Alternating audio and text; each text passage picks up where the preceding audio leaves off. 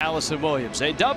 Hey there, Rich. Lots going on at the ballpark tonight, including a watch party for the World Cup game, U.S. versus Belgium. Of course, it was an exciting but ultimately disappointing game for Team USA. But the Marlins, like many people throughout this country, have had World Cup fever for some time now. Uh, the scene before the game, about 2:30 or so, several of the Marlins fans kicking around the soccer ball to get their cardio in. Mike Dunn, Chris Hatcher among them. Hatcher is showing off the fancy footwork with the deflection goal here into the visitors' bullpen.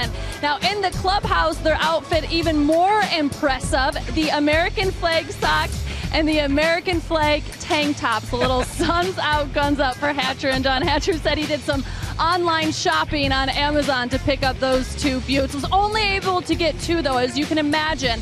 As popular as the World Cup has been, those were in short supply. He said it went from three to two, so he immediately just snatched them up, got them today for them to wear during stretch and uh, BP. So they were looking pretty snazzy in the clubhouse and feeling pretty good.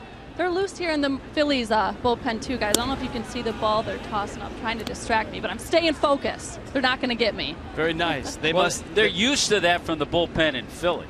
You'd think they'd be distracted by like the Cleveland girls. I don't know how they spotted me up here, Just- but you're right. There's some way more distraction in Philly. Just pour a beer on them. They'll feel right at home. Jones pulls it